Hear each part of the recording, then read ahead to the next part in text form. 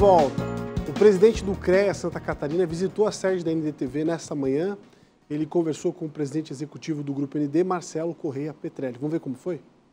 A visita nesta manhã ao presidente do Grupo ND foi para tratar de assuntos e projetos ligados ao Conselho Regional de Engenharia e Agronomia de Santa Catarina.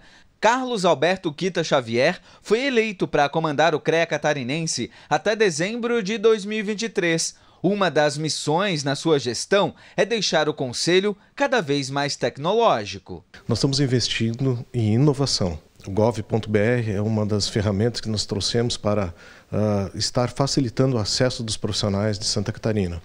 Nós estamos investindo nessa tecnologia para que o profissional sinta-se mais representado aqui dentro do nosso estado. Acabar com a burocracia, facilitar a vida, trazer assinatura digital, acesso à inovação, isso é fundamental para o desenvolvimento dos nossos profissionais.